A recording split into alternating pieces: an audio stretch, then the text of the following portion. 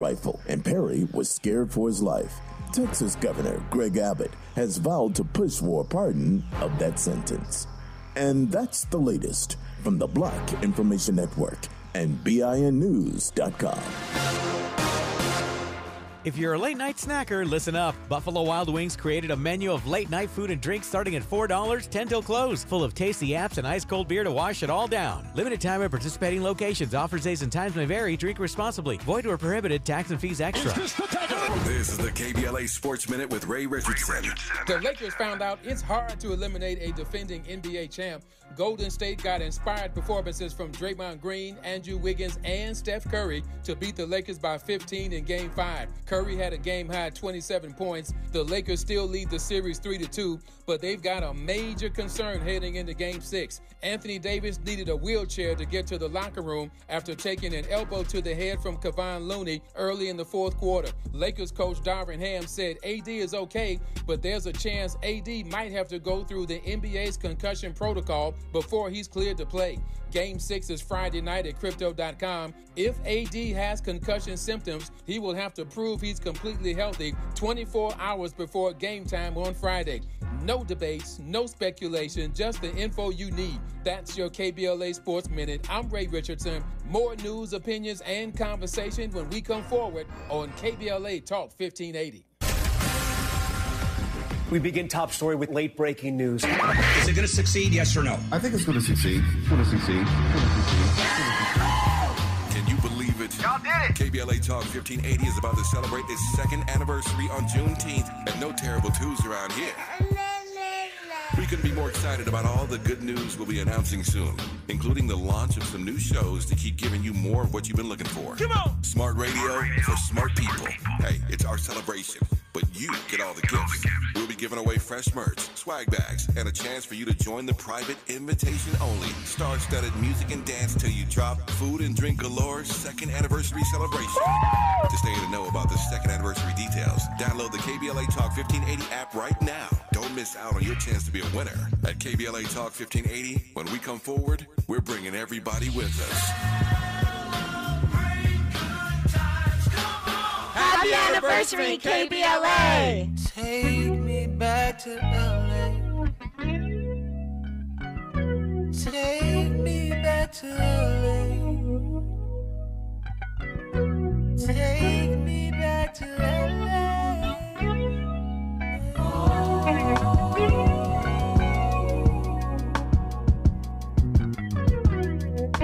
I've laughed and I've cried.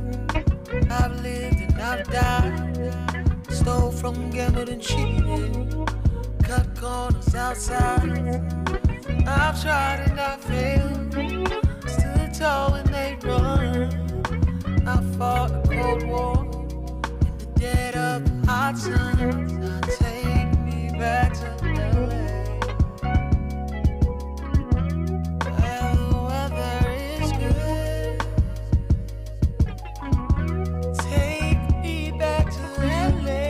KBLA Talk 1580. I'm Dominique DiPrima, and I am very pleased to welcome into our space this morning one of our city council members. She's an urban planner, a working mother, an immigrant to America, and a member of the LA City Council representing District 4. Uh, she's also made history in a number of ways. Uh, she ran for city council in 2019 and won, becoming the first Asian American woman and the first South Asian ever to serve on the city council.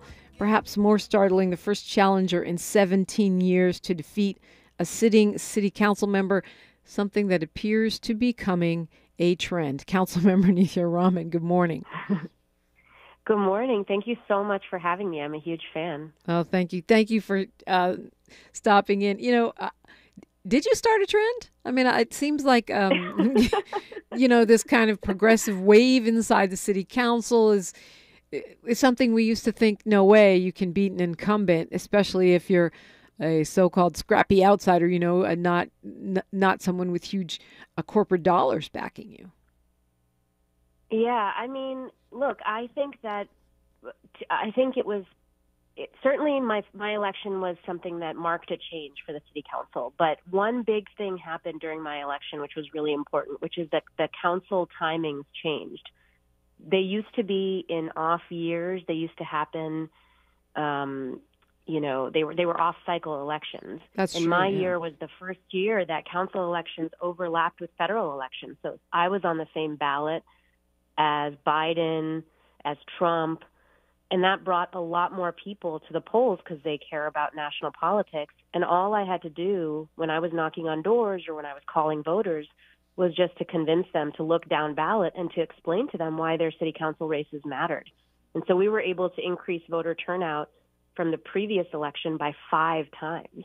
That's amazing. For our race. That is amazing. Yeah, it was really incredible. I mean, it's especially amazing when you consider what just happened with the, you know, the the race to replace, uh, you know, Council Member Nury Martinez, where like twelve people voted.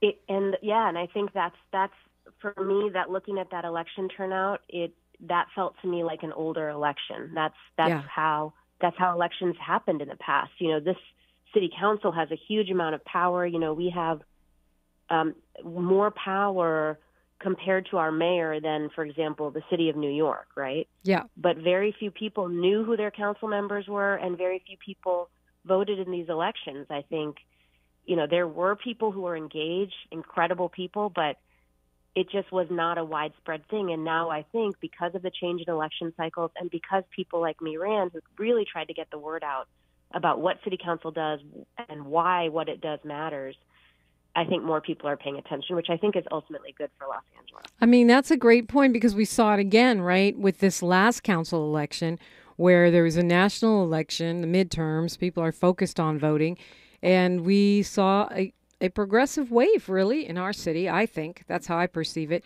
with uh, you know, folks getting elected to council and the controller and you know, many other um and, and of outcomes. course the the mayor winning the Hello, mayor winning yeah. against a hundred million dollars of spending. Yeah, absolutely.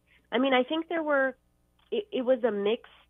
It, some ways, it was a mixed election. Yeah. I think not every election um, went for the more progressive candidate. So I think candidates still matter.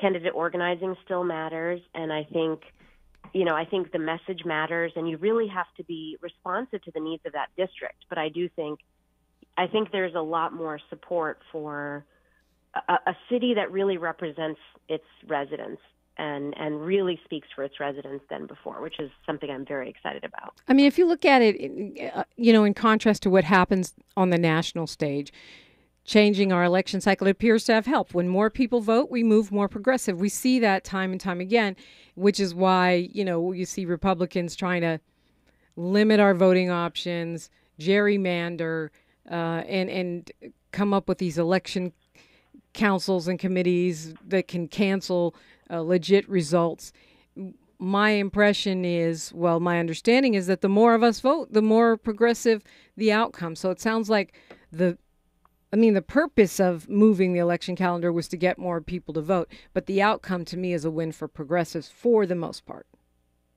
For the most part, absolutely. I mean, I was not involved in local politics before, right? Like I, I didn't, I wasn't, I knew who my council member was. I followed it because I'm an urban planner. I love thinking about LA. I worked briefly for the city of LA, so I followed it pretty closely. And what I realized when I was looking at the city council is like, I'm a mom from Silver Lake. I have two young kids. Um, and I looked around and I did not see a lot of people in city council who reflected my views and the views of my fellow moms here in this neighborhood or in the neighborhoods around me. And I think that, and I think now that's changing. And that's really exciting. And I think that's both a result of the change in election cycles and the result of another change, which is a little bit more obscure, but the city instituted something called a matching funds program, which means that up to a certain amount, every dollar donated to a candidate by a city of LA resident gets matched one to six by the city of Los Angeles. And you can raise up to $180,000 each election from the matching funds program. And that means that even if you don't have corporate funding, even if you don't have, if you don't accept corporate funding, like I don't, if you don't have labor funding, if you don't have the institutional support, you can still be competitive as a candidate. And so between these two changes, the matching funds and the change in the election cycles, I think we really made elections a lot more competitive here in LA and pushed them to being more representative of LA, which is exciting. Yeah, that's kind of like the campaign finance reform. It's a start of it, what we need on, on the national yeah. level. I, I want to say start because we'll circle back to that when we come forward. But since you mentioned that, you know, you hadn't been involved, you were more or less kind of, you know, paying attention. What made you make that leap from uh, somewhat interested observer to I'm going to run because that's a lot. I mean, campaigning, especially as a mama, that's like, ooh, just a lot. Yeah, my kids, my I have twins. My kids were three and a half when I started. It okay. was a lot. All right. I mean, I don't know you, but that's crazy to me. I don't know how you. I just have one, and when he was three and a half, I was just no way. well, you know, I for me it was you know, I was a so I am an urban planner. I've I've watched this city for a long time. I follow the policies, and I was doing a lot on homelessness in my neighborhood. I'd worked a lot on urban poverty, and so I'd started volunteering on my neighborhood council's homelessness committee, and I also started this neighborhood volunteer group that was trying to get people who were in my neighborhood who were living on the streets into housing. And we started meeting with people um, who were living in tents. We started to realize as volunteers that there was almost no services coming from the city to help them. And so we put together this kind of this shower program at a church every Saturday. We picked people up in a van that we rented, brought them to the site. We we paid for a hot meal but we also brought a case manager to that church every every Saturday. And because the case manager was able to connect with people over and over again every week, they were able to kind of connect them with ID cards, they were able to connect them with the paperwork, sign them up to be to get them on the housing list. And through our work as volunteers, we were getting people into housing. And I think the thing that really pushed me to think about running was the fact that I was looking around in that church, um, you know, the church community room where we were setting up for the hot meal, and I saw a group of volunteers who felt this incredible urgency to help people and to make change in their neighborhoods. And I just did not see that reflected in our city council.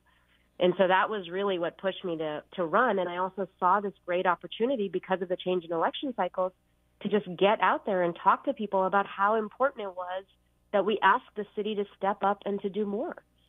And so between those two things, it really inspired me. And I think it inspired that message of this is our responsibility as a city and that we can be doing a lot more to help, not just on the homelessness crisis, but on all of the issues that LA is dealing with. That inspired a lot of people to get involved. That inspired a lot of voters, and ultimately, it, it led me to the seat, which is, uh, you know, it, it feels very and I still take a lot of inspiration from the the swell of support that I had. Council member Nithya Raman is our guest this morning. She represents Council District 4 of Los Angeles. And if you want to get in on the conversation, you are invited 800 920 1580, KBLA Talk 1580. We may be LA's newest talk station, but when you're punching above your weight, it's not about whether you can throw a punch. Can you take a punch? We're unapologetically progressive. KBLA Talk 1580. And we don't black down. Calling all small business owners, entrepreneurs, and startups. Vermont Slauson Economic Development Corporation is your one stop shop for the resources and tools you need to take your business to the next level. VSEDC is a community based nonprofit and CDFI organization recognized for decades of technical and entrepreneurial assistance to South LA small businesses, startups, and entrepreneurs for 40 years. VSEDC provides training workshops and your very own business coach, and these services are all free. That's right, these services are free. Business coaches are standing by at their South LA Business Source Center or their Watts Business Source Center. Visit their website at vsedc.org or call them now at 323 752 2335. That's Vermont Slauson Economic Development Corporation at 323 753 2335.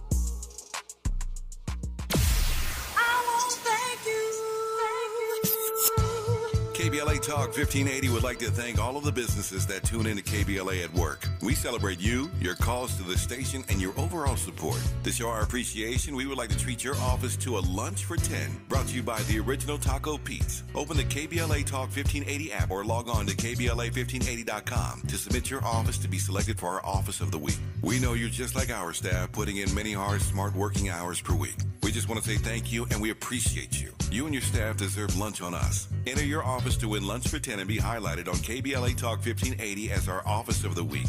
Open the KBLA app or log on to KBLA 1580 to enter your office today to become the KBLA Talk 1580 Office of the Week, sponsored by the Original Taco Pete's, a black owned restaurant. Become the KBLA Talk 1580 Office of the Week. This has been a KBLA Talk 1580 community call to action.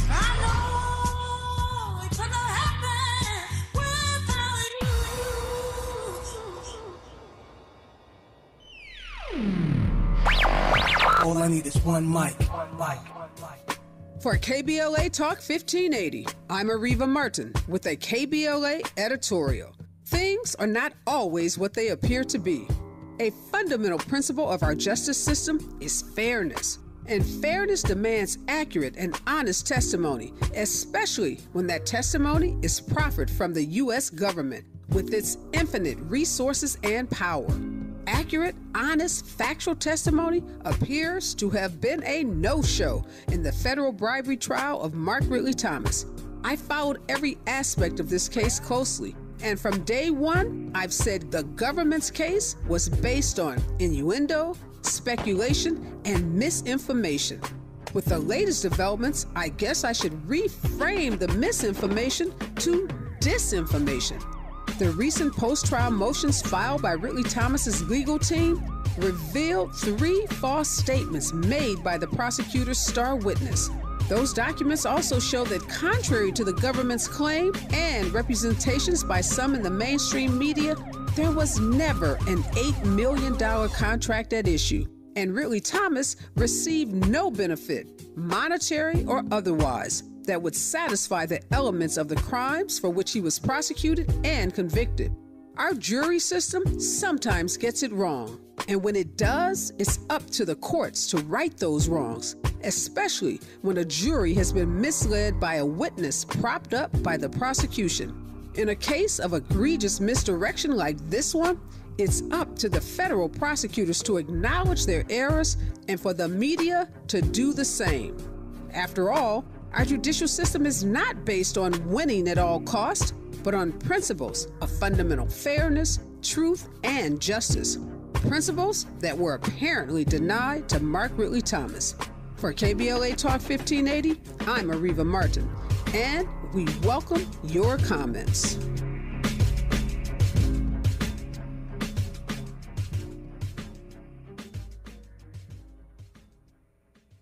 When you get nachos, tacos, empanadas, spicy queso with jalapenos, Pepto Bismol's there. Pepto Bismol provides fast, effective relief from nausea, heartburn, indigestion, upset stomach, and diarrhea. All the things that can happen unexpectedly on vacation. So before you travel, pack the Pepto. Pepto Bismol. When you have nausea, heartburn, indigestion, upset stomach, diarrhea. Use as directed. Keep out of reach of children. At Lowe's, we're always bringing pros more ways to save. Right now, get a Flex 24 volt half inch drill driver kit for only $99. Was 179. That's a savings of $80. Plus, you'll always save big on job lot quantities when buying select building supplies in bulk. Lowe's knows savings. Lowe's knows pros. Valid from 320 to 720 while supplies last. U.S. only. Lowe's reserves the right to limit quantities. Discount taken at time of purchase. Thanks for waking up with Dominique DiPrima on KBLA Talk 1580. We're talking with uh, LA City Council member Nithya Raman, uh, who represents CD4. And, you know, you were talking about what inspired you to get on the council. You um, are an urban planner. A lot of us maybe aren't clear about what exactly an urban planner does, but just listening to it, it sounds like uh, something we need more of, right? Especially as we see more and more tents popping up everywhere and this sort of not just houselessness, but the unaffordability, uh, mm-hmm. you know, of, of housing for folks that that do have housing that are paying more than half uh, their their income monthly, or you know, barely hanging on. Yeah, no, I mean, I think the the issues that are the most important for Los Angeles right now are our housing and affordability crisis and our homelessness crisis, exactly as you said.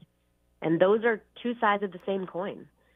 You know, the reason why homelessness had, has gone up so more so much in in recent years is inextricably connected to how expensive this city has become. And the reason why the council's role is so important is because the council really one of the biggest powers that it has is in making decisions around how land is utilized in this city. And we need, you know, we need to be doing a lot more of smart policy making at the city to make sure that we're generating more housing, that we're generating more affordable housing, while at the same time making sure that renters who are in this city are protected to stay in their homes. That's really important. To me, renter protections are homelessness prevention. You know, the, they're they're yeah. they're community community building measures. And so I think if you can do both, we can pull ourselves out of this crisis. Um, we also have to take on the people who are already, you know, unhoused on the streets who are living in tents. And I know we can do that. We've done that a lot in my district, but we really have to look at over the medium term and over the long term, making sure that we're building more of the housing we need and making sure people who are already here can stay here.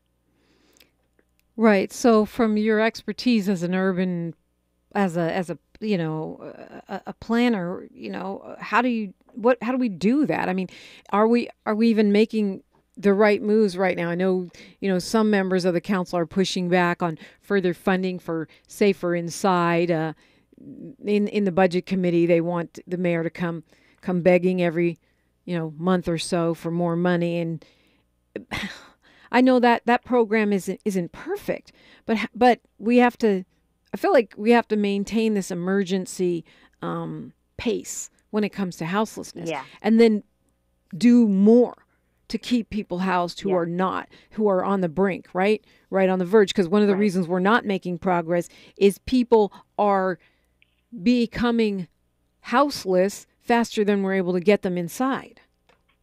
Yeah, that's exactly right. And I'm very proud to say that at the beginning of this year, as the COVID related eviction protections were ending, my office and I led the passage of new tenant protections here in LA, which expanded something called universal just cause protections, which means that you can't be evicted except for uh, you know except for certain uh, reasons and if you are evicted from your home that you get a relocation payment and expanded those protections to another 400,000 households in the city.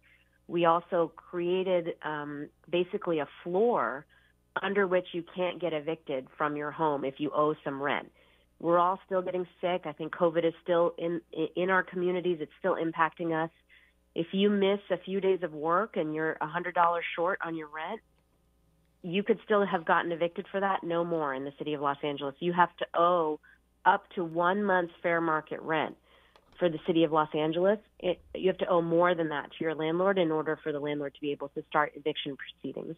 That doesn't mean that you don't still owe them that money and that they can't still collect on it. It just means that you can't get evicted for falling a few hundred dollars behind on your rent because yeah. we understand, you know, I think the precarity of what's happening here. And I think it's really important to make sure that people have a little extra time, a little extra support, and a little more protection to stay housed. That's really important.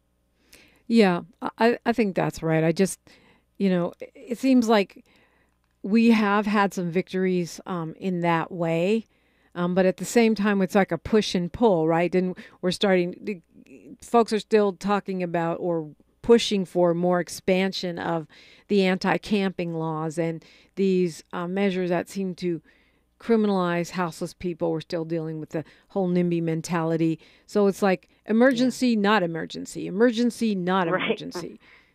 Right. What are we doing? Right. I mean, and I, yeah, and I think, you know, Mayor Bass has been incredible in office. Like she has brought a sense of urgency to this crisis you know, I've been here for, uh, you know, now two and a half years.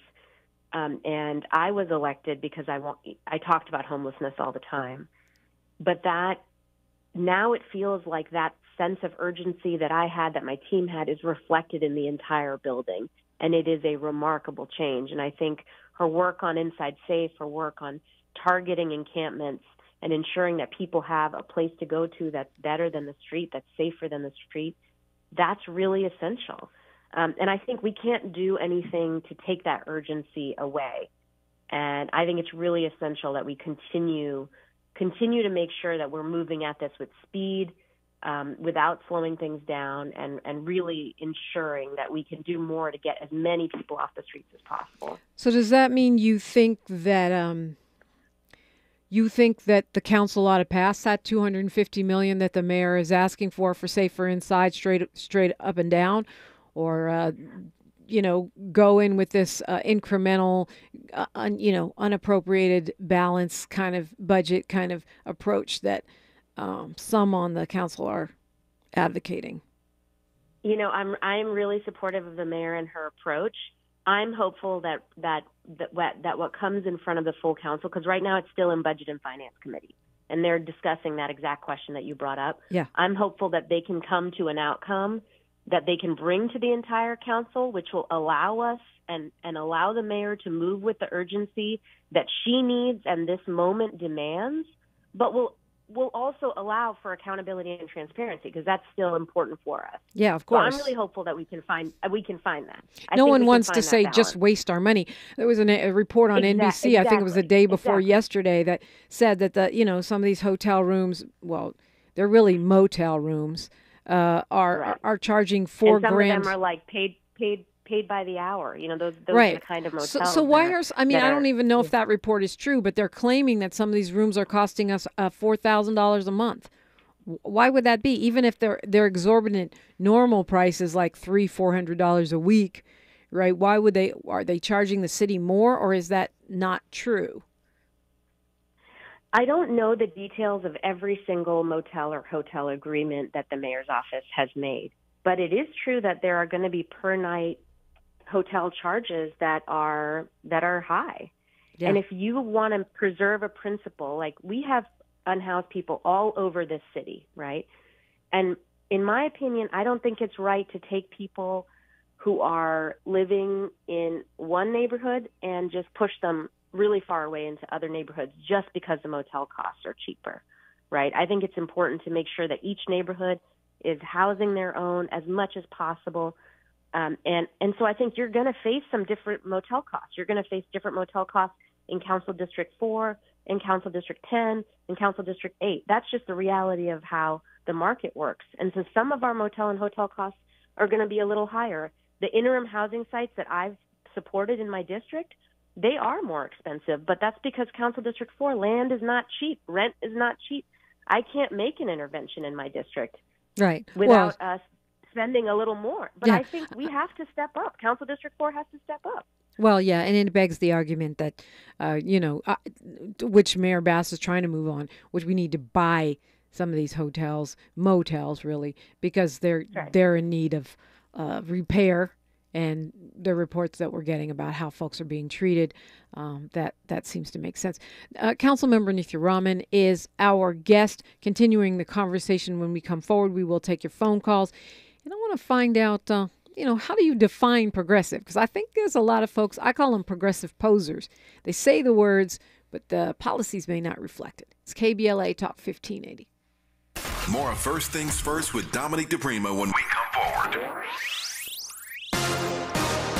Good morning. It is Thursday, May 11th. I'm Ree Harris, and here is the latest from the Black Information Network. Supply chain pressures continue to ease, and global growth projections remain higher than they were in the fall. Treasury Secretary Janet Yellen says the idea of Congress letting the nation default on its debt should be unthinkable. Yellen made the comment to reporters ahead of the G7 finance ministers and central bank governors meeting in Japan. The Texas man who shot and killed a Black Lives Matter protester back in 2020 is going to jail for 25 years. Daniel Perry was a rideshare driver. His attorney claimed the victim was waving an assault rifle, and Perry was scared for his life.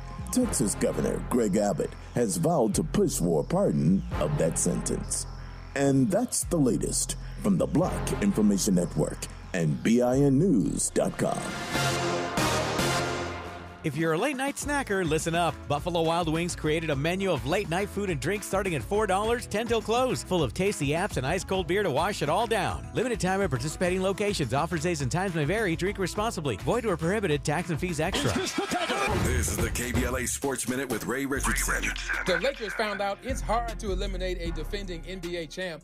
Golden State got inspired performances from Draymond Green, Andrew Wiggins, and Steph Curry to beat the Lakers by 15 in Game 5. Curry had a game high 27 points. The Lakers still lead the series 3 to 2, but they've got a major concern heading into Game 6. Anthony Davis needed a wheelchair to get to the locker room after taking an elbow to the head from Kevon Looney early in the fourth quarter. Lakers coach Darvin Ham said AD is okay, but there's a chance AD might have to go through the NBA's concussion protocol before he's cleared to play.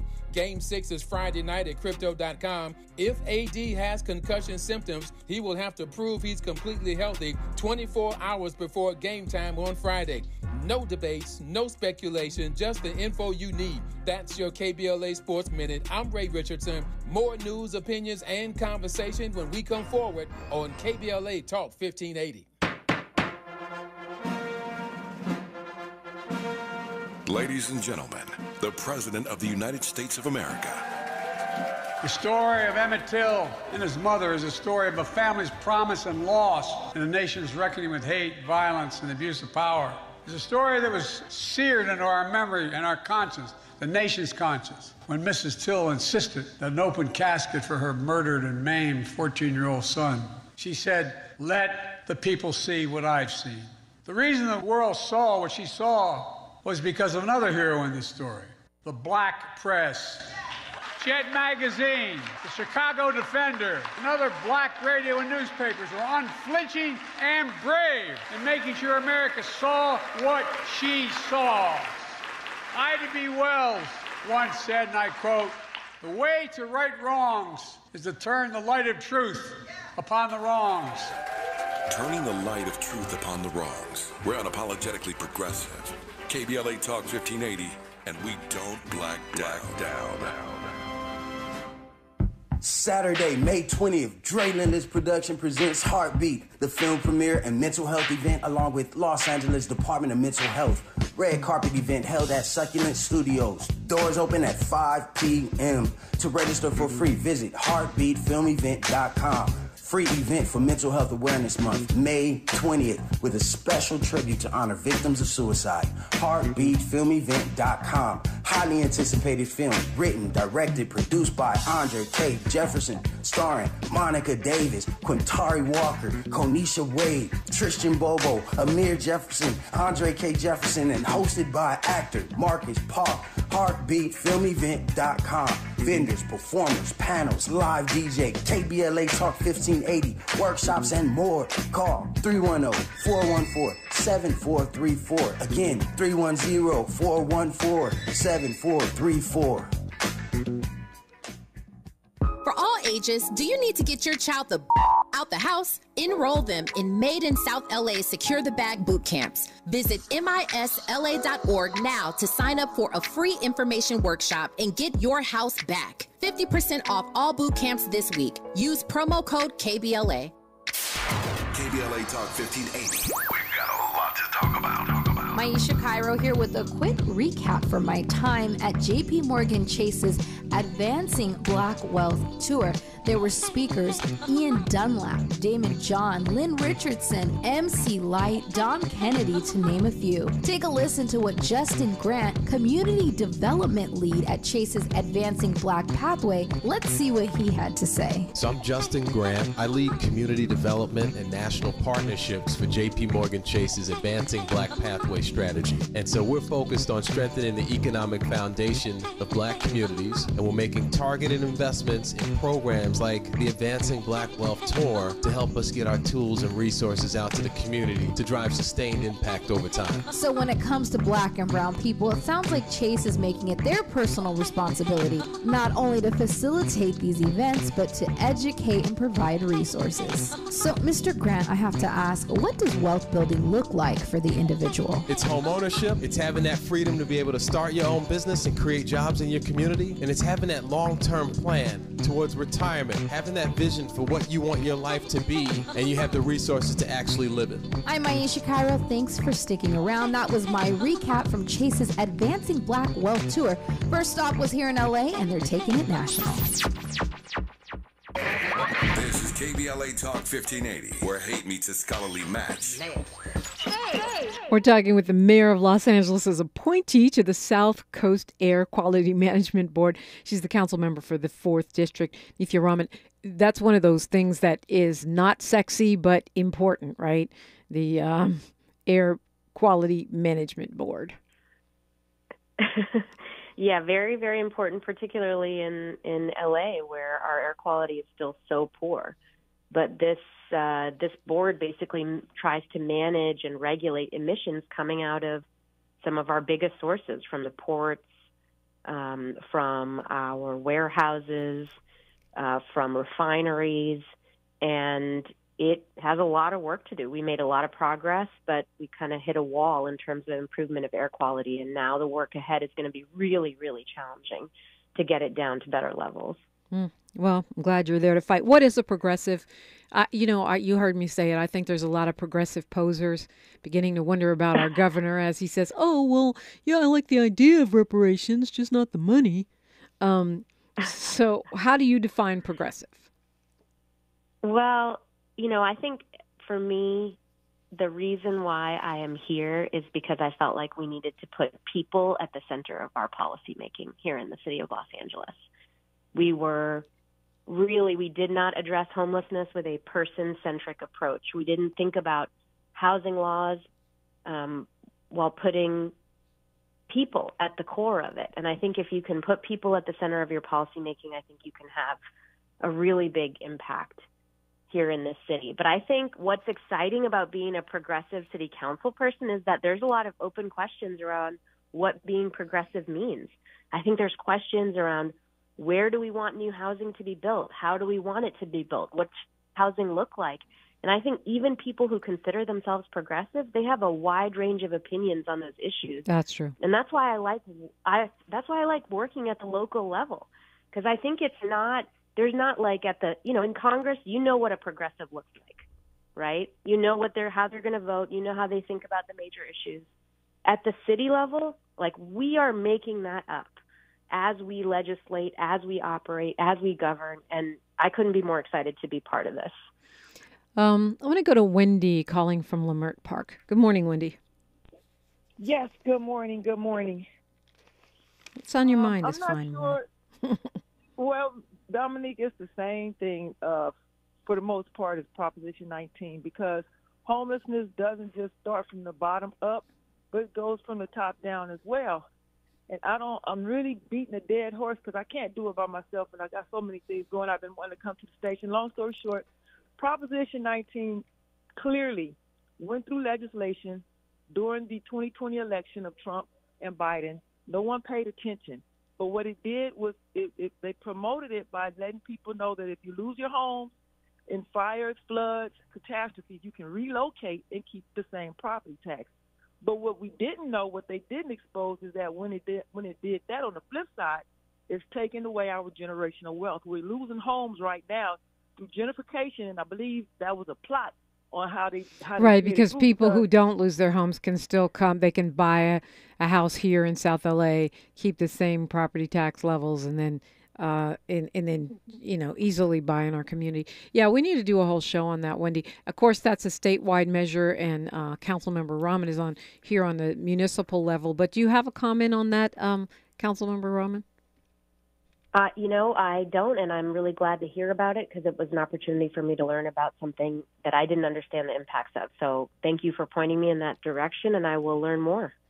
I think that a lot of us, even those of us who were tracking it, Wendy, were confused by it because it was one of those mm-hmm. confusing things where you kind of wish it wouldn't have been on the ballot at all. You wish the real estate lobby and the lawmakers would have just got together and worked something out. Um, and uh, from you know we've had a lot of conversations. It's going to have to be it's going to have to be fixed some kind of way. Um, some folks, you know, knowing that you were coming on, uh, said to me, you know, how do we know that Councilmember Raman is any different than a Martinez, then a De Leon, then a Cedillo when the doors are closed, right? The anti blackness, even though it wasn't just anti blackness, anti indigenousness, the uh, anti renter bias that was displayed, and on and on it goes in that secretly taped, um, you know, meeting from the LA Fed.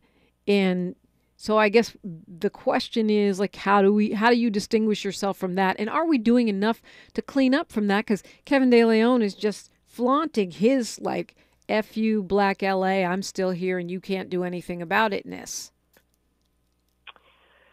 Yeah, well, you know, I um you know, I hope that I have demonstrated through my policy making and through my work and through my words who I am over and over again. Um, I think I came in here because I wanted to fight back against the racism that had defined so much of our policymaking. You know, I, I talk about homelessness a lot because that's the issue that comes up the most in, in my, you know, when people call our council office. It's the issue that is at top of mind for for Angelenos. Um, you know, people had an approach to homelessness where they where they wanted to put people who were experiencing homelessness in jail. They just wanted them off their streets. And as you know, this is an issue that impacts black Angelinos the most. It impacts it's an outsized impact on on on the African American community. And I think we can transform policymaking if we can take that racism out of the equation. And if we can make policy that really centers people. And I think that's what my work has been about. It's been about care first, it's been about housing first, it's been about making sure that we're addressing these crises by putting the people who are in need and who are vulnerable at the center of our work. Um, and that's what we've really demonstrated in our district. And I think when those tapes came out, I was one of the first to come out and speak speak out most aggressively against it and, and call for people's resignations as early as possible. And it is disappointing that we continue to have to sit in that room with with uh, Kevin De Leon, but you know, here we are. I mean, and the thing about it is, I understand the city charter doesn't allow the city council to remove um, De Leon, and the, the, recall effort failed. I'm looking for some kind of a, an indictment. That's what I would like to see because that would that would do it.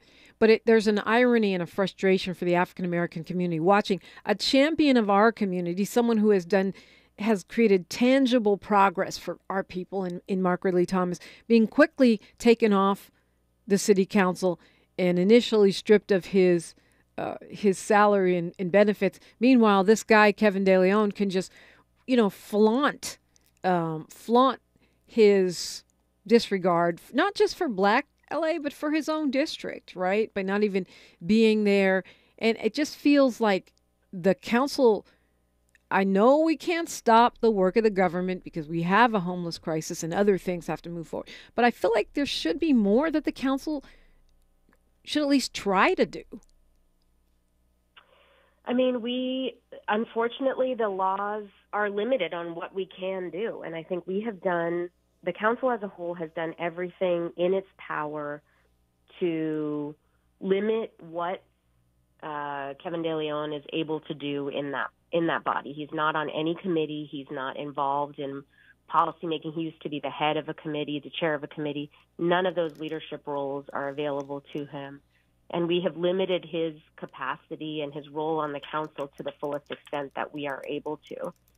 And I think right now it's time for the people of Los Angeles to step up and, and make their voice heard in the next election that this is not the person that we want representing us, that this is not the person that we should have representing us anymore. I wish that there was more that we could do, that these laws were put in place, uh, you know, a long time ago to make sure that we didn't, we, they weren't, you know, people weren't able to remove democratically elected members just because they didn't like their views. And unfortunately, in this case, it's led to, I think, a completely opposite outcome. But here we are. Um, but I, I, you know, I'm, I'm hopeful that we can get through this moment and that we will have uh, a different composition of the council going forward that will help us to move as far away from this moment as possible. I also want to talk about the fact that I have been really pushing for governance reform even before the tapes came out. And by the way, I was talked about on those tapes and targeted on those tapes. My district was ripped apart because I was so much not an ally in their minds to what they wanted, which was to, you know, empower themselves. Yeah, I did sure actually force myself to listen to it a couple times, and it seemed like the, one of the main reasons you were being targeted is because you're advocating for renters. Yeah, it was because I was advocating for renters, but also because you know I wasn't I wasn't someone who just said we should be re redrawing these lines to ensure that incumbents can stay in their seats. Like I don't think that's how redistricting should be happening. I don't think that's how we should be using our powers as a council. We shouldn't be using them to benefit ourselves and our friends on the council. We have to be using these powers to benefit Angelinos. And even before the tapes came out, we had already put forward a motion to make redistricting into a truly independent process so that it's not a fight between council members and their own power bases, but a truly a fight over what makes sense for Los Angeles and for Angelinos. And since the tapes came out, we actually have an ad hoc committee that is looking at a set of governance reforms, including expanding the council so that we can have more council members that are truly representative of the city. Why do we have 15 council members for a city of 4 million? These are the largest council districts in America um, for a lar- for a city of this size. And so I think it, you know, I think there's a lot we can do to move away from this moment, and a lot of it involves the council taking action to limit our own power. Yeah. And Ye- I am, you know, and I'm pushing for that, and I'm really hopeful that we can do that because I think that is what Angelinos are demanding from us. Yeah, I want to go a little bit uh, when we come forward a little bit more in detail about that, what that looks like, re- redistricting, maybe charter reform. I, I do think that there's there's another aspect in terms of whether De Leon is on the council or not on the council, which is a normalization. You know, by by Council President Krekorian letting him vote from the from the back room and sort of defending him, and and Council Member Rodriguez defending him. It's like that. Maybe you can't get rid of the guy, but you don't have to be his new BFF, and you don't have to accommodate his um, scandalousness. And uh, so I would like to see uh, more uh, if if even if it's only symbolic, more symbolic shunning of him rather than uh, protecting him, arresting protesters to protect him, spending our tax dollars to protect him. Th- that I think is doable. Mm-hmm. We'll talk more governance reform when we come forward with Council Member Nithya Raman on KBLA Talk 1580. She's reclaiming her time on KBLA Talk 1580. More First Things First with Dominique DiPrima when we come forward.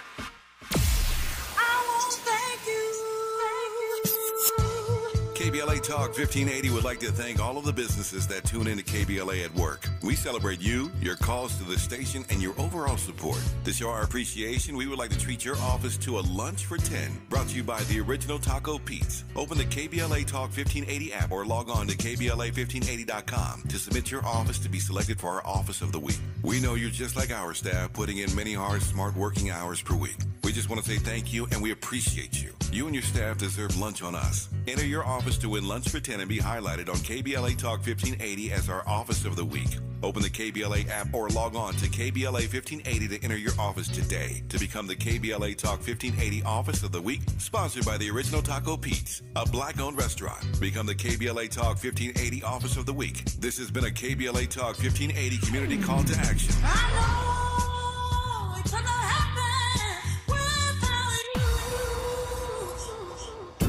Come join us for a celebration of community, culture, and healing at the I Love Myself Festival, Sunday, May 21st from 11 a.m. until 4 p.m. at the Outdoor Pavilion of the Baldwin Hills Crenshaw Mall. Yoga, meditation, food, vendors, a kids zone, and a special panelist segment featuring Samantha Smith, D Smoke, and Ebony Davis. Performances by Wilson, Skylar Ray, Divas of Compton, Iman Europe, Kalan For Real For Real, and Eric Bellinger. It's all going down Sunday, May 21st at the Outdoor Pavilion of the Baldwin Hills Crenshaw Mall from 11 a.m. to 4 p.m. Let's come together for a day of fun, celebration, and healing. For more details, contact Project Pit on social media or text 323 448 5770. The I Love Myself Festival in celebration of Mental Health Awareness Month is a free event for community healing and culture. May 21st from 11 a.m. to 4 p.m. at the Baldwin Hills Crenshaw Mall.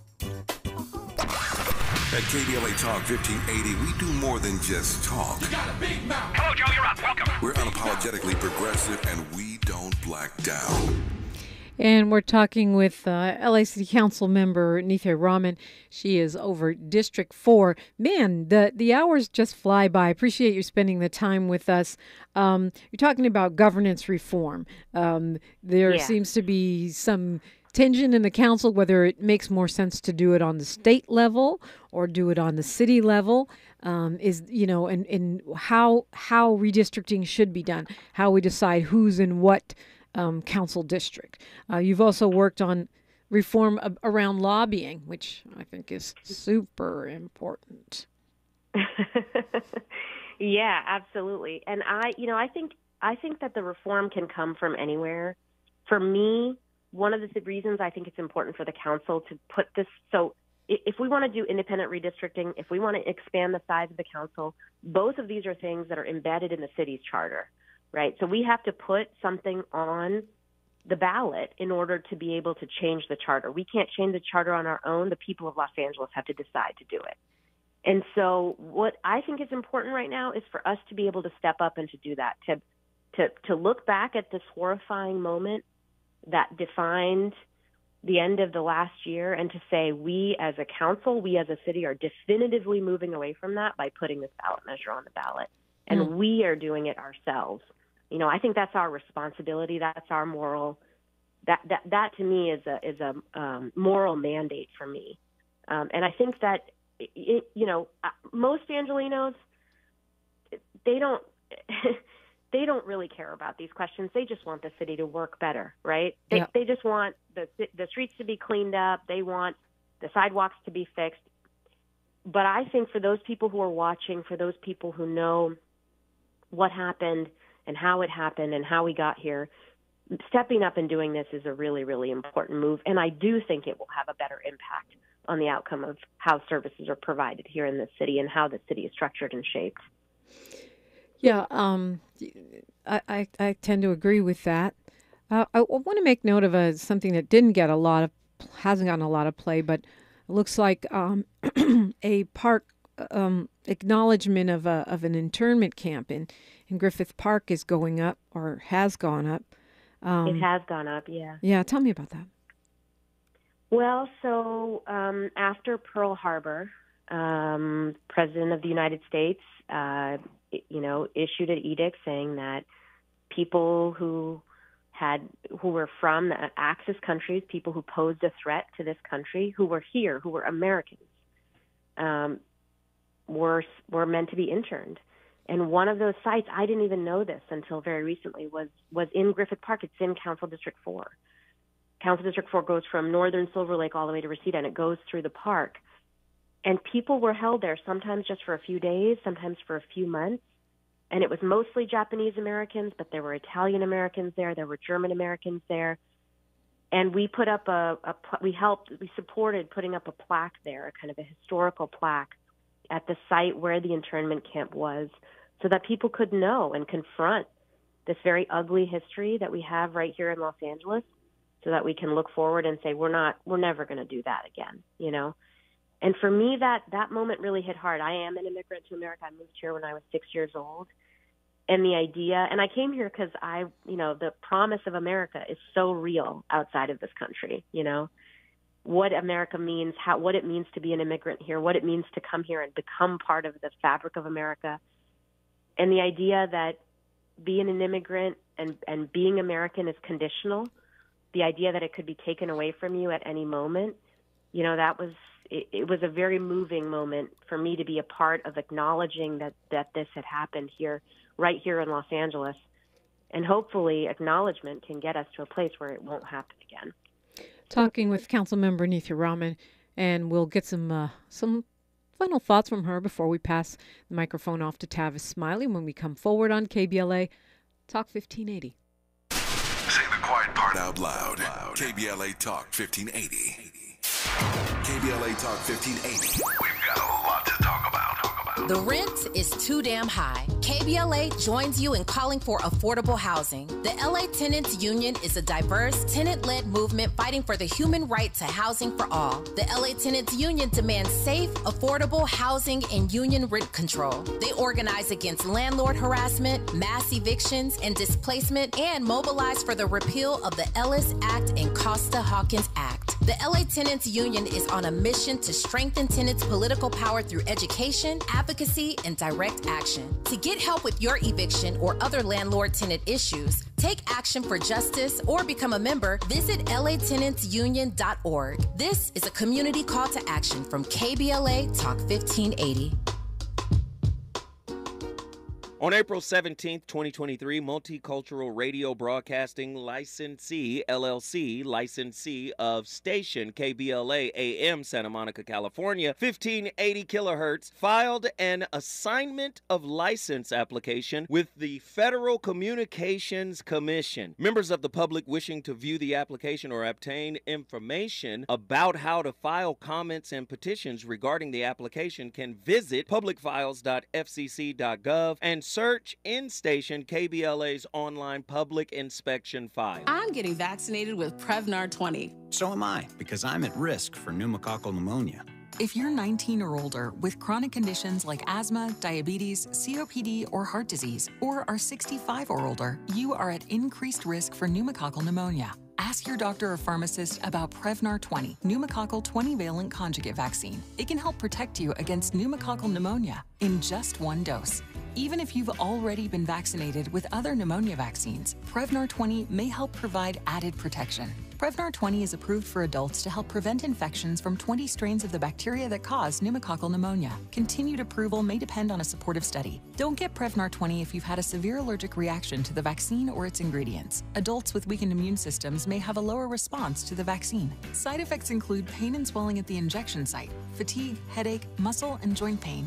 For full prescribing information, please call 1 855 213 2138 or visit Prevnar20.com. The conversation continues right now, right now, right now with Dominique DiPrima on First Things First. Talking with LA City Council member Nithya Raman, uh, you just a really moving story about, um, you know, Griffith Park, and I'm so glad that memorial is there. Uh, everyone's sort of not everyone, but media is in a frenzy about uh, Title 42 ending. And uh, I know that you and some others on the council have advocated for the official designation of Los Angeles as a sanctuary city. Where are we with that, and why is it important? So, the sanctuary city protection, which really involves creating official barriers between our, um, you know, our criminal justice system and our government data collection processes and ICE, those were actually, some of them were put into place under Mayor Garcetti through executive directive. And I think what we saw in this moment uh, as a new mayor was coming in, who we knew would be supportive, but who knows what will happen in the future, was an opportunity to really make those protections and those barriers between collaboration with ICE into a permanent policy of the city. And so that was really what that sanctuary city um, legislation was about. It's moving forward through the council, and I'm hopeful that we'll be able to uh, mark its progress soon. And, you know, I'm looking forward to doing more here in Los Angeles to ensure that um, we're really supportive of all of our immigrant communities, including making sure that our services are really serving them. Because I think we have a city that is supposed to be helping people, but a lot of people don't know that we're here. And we have to do more in language. We have to do more outreach. We have to do more door knocking to make sure that we're really, we're really doing that work. Nithya Raman, thank you so much for joining us this morning. Thank you so much for having me. Like I said, Dominique, I'm a huge fan, so it's really a pleasure. Thank you. Tavis Smiley is up next. Until tomorrow, one love. KBLA 1580 Santa Monica. Good morning. It is Thursday, May 11th. I'm Ree Harris, and here is the latest from the Black Information Network. Supply chain pressures continue.